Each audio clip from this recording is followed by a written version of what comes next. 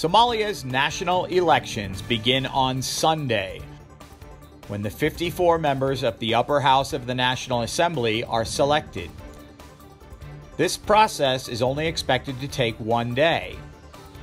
Voting for the lower house of the legislature will be spread over a month from August 10th to September 10th. The senators are really selected by the state presidents and then approved by the legislatures. It is possible for some of the selections to be rejected, but unlikely. Most of the state leaders have a solid majority of supporters in their assemblies. Presumably, these provincial heads choose legislators who will support their agenda and issues in the National Assembly. They also expect them to vote for their preferred candidate or candidates in the presidential race. There are 275 lower house MPs who will also cast their votes for president. With the regional leaders seemingly split between supporting incumbent Mohamed Farmajo and opposing him, analysts don't expect Sunday's vote to tip the scales.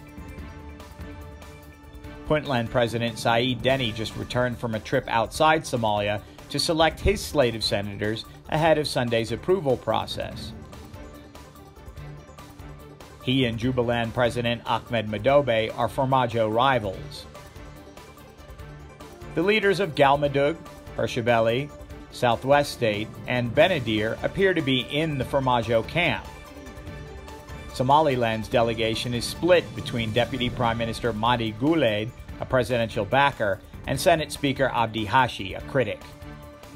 They met with Prime Minister Mohamed Roble Thursday as he continues to try and mend the rift between the two.